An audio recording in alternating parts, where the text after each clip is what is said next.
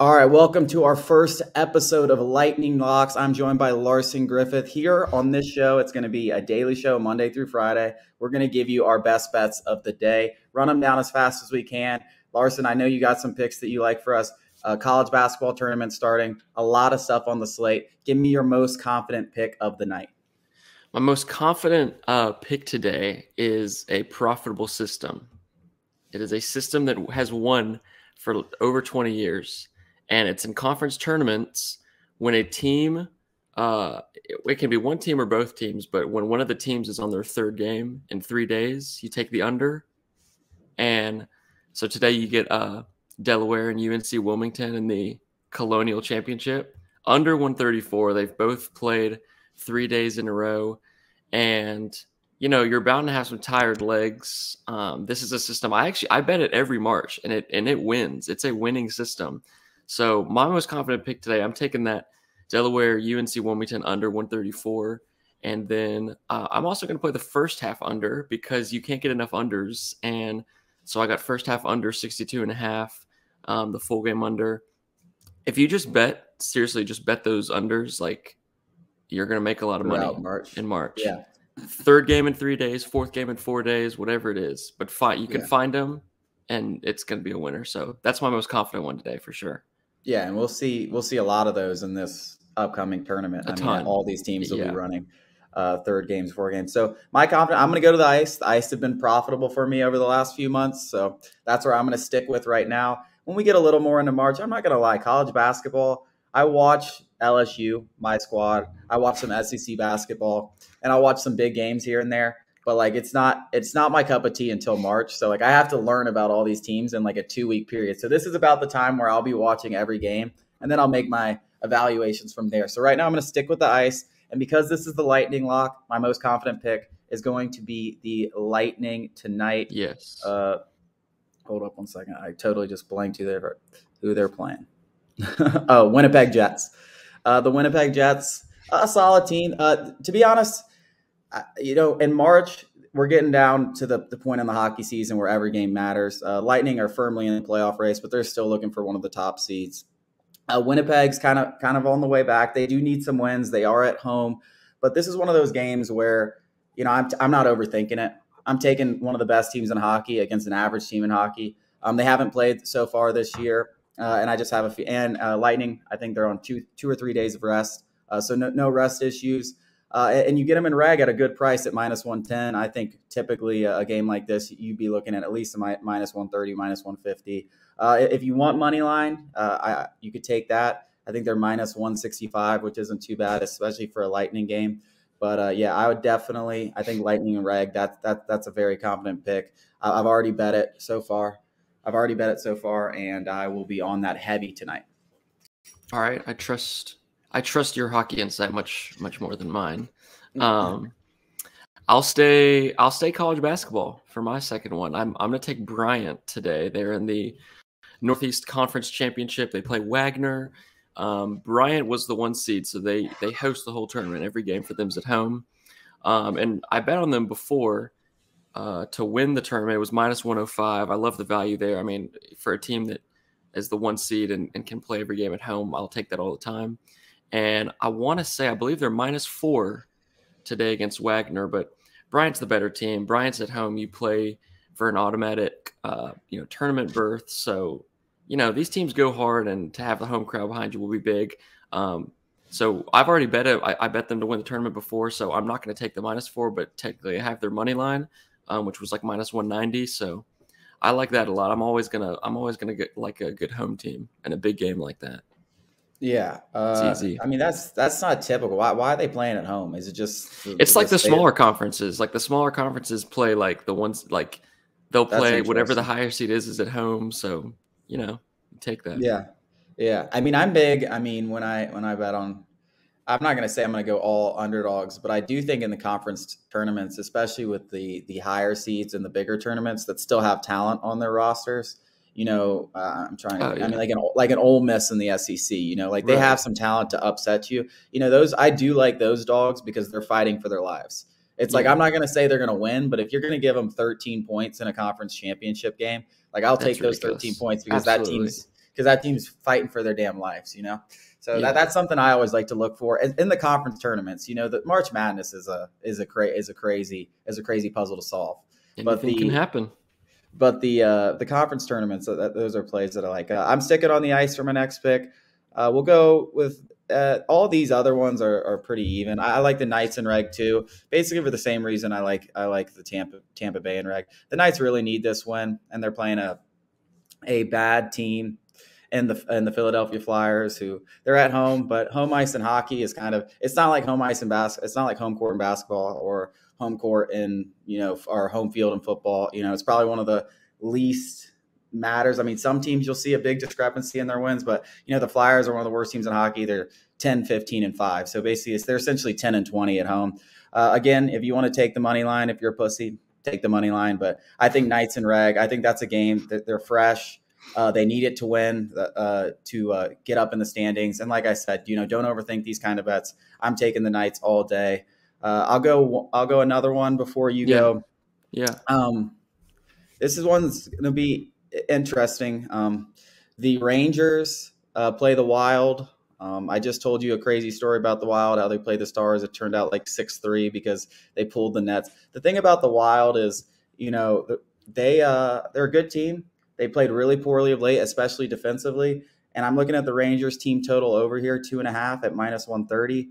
Uh, I really like it. Uh, I think the Wild are going to come out buzzing. Um, they, they've lost four of their last five. They've given up f- uh, four or more goals in all of those games, and they've given up seven a couple, which is kind of atypical. Uh, the Rangers don't have a great offense. They lean on Shesterkin, who's arguably the best goalie in hockey.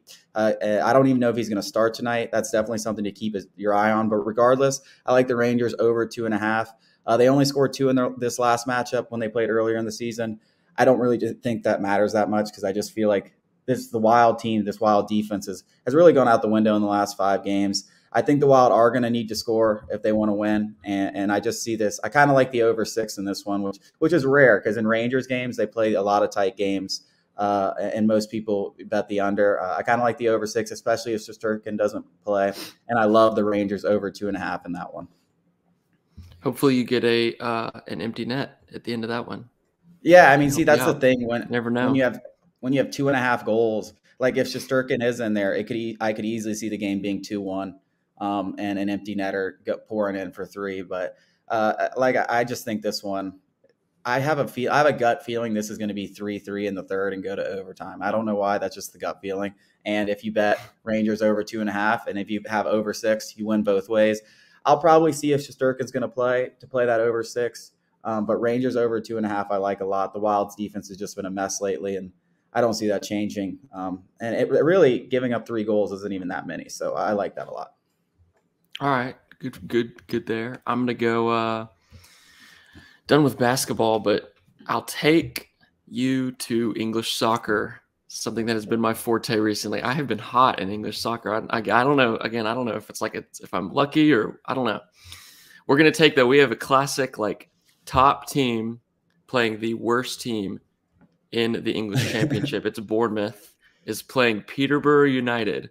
So Peterborough United, they're the, the worst team in the league. They're at the very bottom of the table.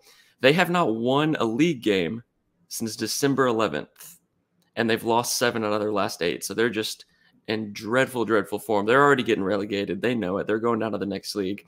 Bournemouth, though, they're fighting to get promoted to the Premier League. That's like the the mass, most massive thing in soccer. So they're fighting for that. They've won four out of their last five league games, so they're playing really well. And they're at home where they have been much better. Peterborough, like they suck, but they can't win on the road either. So um, I checked the money line. It was a it was like minus three fifty. It's like something massive. I'm not willing to do that, but I will take the spread. I'll take Bournemouth minus one and a half um, to win by basically two or more. It was minus one forty. Um, I like that one. I actually bet that one last night because I mean they they really should should kill this team. Um, anything can happen in that league. It's a, it's a really crazy league, but I mean, golly, it would be just brutal for Bournemouth if you're fighting for your lives and you lose a game to the worst Yeah. team. I, I couldn't see it. If it happens, I applaud. You know, Peterborough, good job, and I move on. But I'll lay 140. That should be an easy one. I think. That see, that's funny. That's funny. I mean, that is some true, true degenerate gambling right there. Betting on championship league uh, English soccer. Not I like it. Not You, Premier you can find League. some good value. You can find some really Oh, good value I- in those games. I, mean, I agree. I mean, you look. I mean, you look at sports that I think are the hardest to bet: NBA, NFL. Uh, Yes. um, I think it's hard to find value in a lot of those games because they're being bet all over. That's kind of why I made my way to the NHL, especially with the MLB lockout and everything happening. I was like, you know, I'm going to see what this is all about. And you get every game on ESPN Plus. I highly, I highly suggest everyone that is watching this show to at least give NHL a shot. If you don't have a team, pick one. And if you don't want to pick one, just start betting on every game. And you'll all of a sudden be like, I am hooked on this shit because I'm, I'm not kidding. Like 95% of games come down to the last like 35 seconds. And like it's like empty netters and six on fives and four on sixes. It's it's it's exhilarating, especially if you have money on it. You these over unders, which I'm about to give you two over unders to wrap up my slate. yes. And it's really two of the best offensive teams, the Leafs and the Avalanche, against two of the worst teams in hockey, the Devils and the Kraken. The Avalanche and Leafs both played uh, last night, so I wouldn't be surprised if the Devils and Kraken gave them a run for their money, um, even though they're, t- they're two of the worst teams in hockey. But I do, I, I just think there's no way the Leafs and Avalanche don't put up at least four goals. Uh, they should each put up four goals against the, the Kraken and the Devils. So then you're just asking, you know, for for the Devils or the Kraken to put up three or or two and and one. I have Leafs Kraken over six, Avalanche Avalanche Devils over six and a half. So I see both of those games going over. It wouldn't surprise me at all um, if this Avalanche Devils game was like six to three. Uh, and and the Leafs Kraken Leafs have one of the best offenses in hockey, uh, and they they don't play defense worth a shit. And so I, I wouldn't be surprised if that one was like seven to five. I mean, the Leafs played a game I think four or five games ago where it was ten to seven against the Red Wings, who do not have a good offense. So it wouldn't surprise me at all coming off a back to back where they're traveling. If this game was like eight to seven, so I think Leafs Leafs Kraken over Avalanche Devils over six and a half. Uh, I think you'll make some money on those two.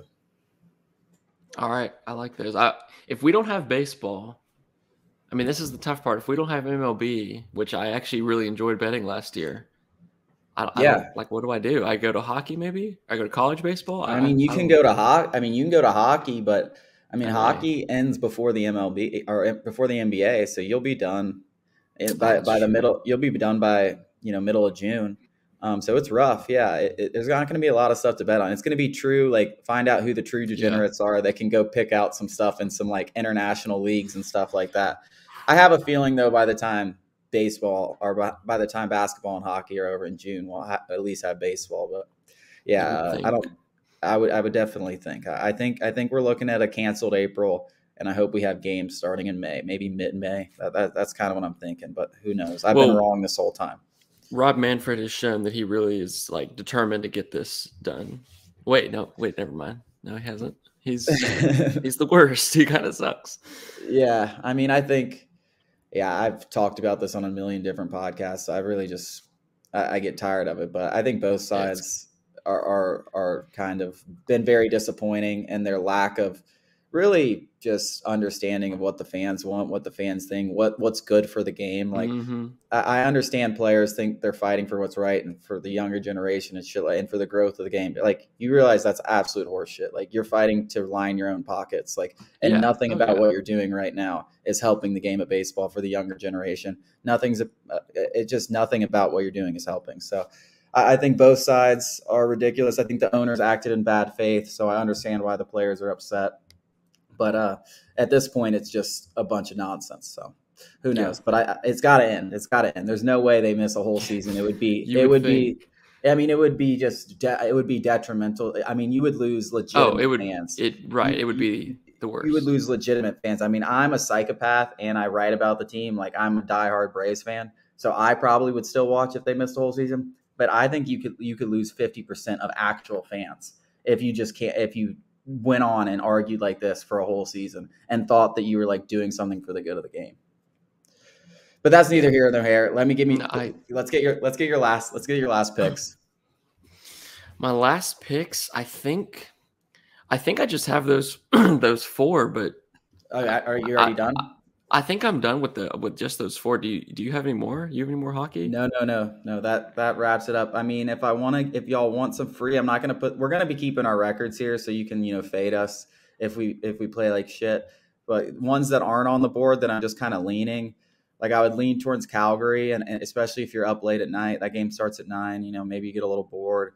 Uh, I like the Blues team t- total over three and a half. Uh, I also think you know taking a, the Blues money line or Blues and Reg is a pretty easy bet. Uh, I like the Panthers against Pittsburgh, even though they're traveling on a back to back. I still think Florida is a better team there, and they lost to Pittsburgh earlier in the season, so a little revenge spot. Uh, Pittsburgh will have fresh legs, three days on, three days of rest. That's why I didn't want to put it on the board, but I still think Florida is the better team. Uh, other than that, I think that, that that's pretty much it.